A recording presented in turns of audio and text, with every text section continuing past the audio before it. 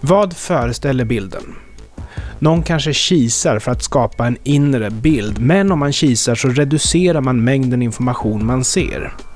En fiktiv polis som ser den här gryniga bilden kommer att ropa “Enhance” åt datorn för att han vill ha mer information, mer detaljerad information. Tillgången av mer information kan helt förändra bilden man har, på gott och ont.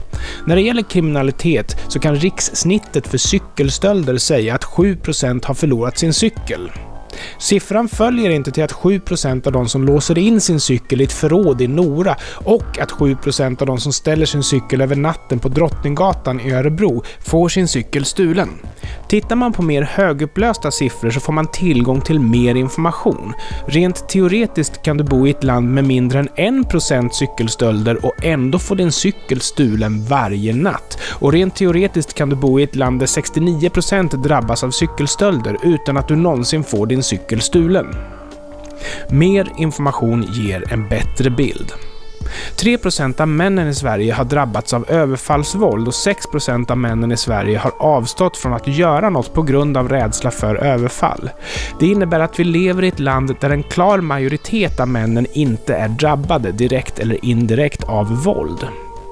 Man skulle kunna säga att differensen är ett slags irrationalitet eftersom män som drabbas av våld har ett riskbeteende som till exempel att umgås med andra, gärna berusade män. Många män som blir överfallna har sagt något, gjort något eller befunnit sig i någon speciell situation. Få män som blir överfallna blir slumpvis utvalda för till exempel en överfallsvåldtäkt. 1% av kvinnorna i Sverige har drabbats av överfallsvåld och 23% av kvinnorna i Sverige har avstått från att göra något på grund av rädsla för överfall.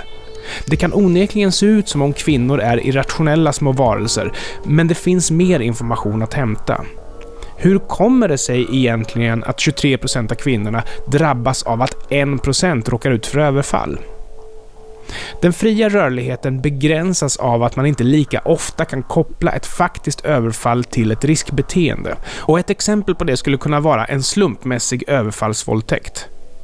Offret behöver inte ha provocerat någon, behöver inte ha tagit droger eller något annat. Varje slumpmässigt utvalt offer är en attack mot det fria samhället eftersom det begränsar dess invånare till väldigt hög grad.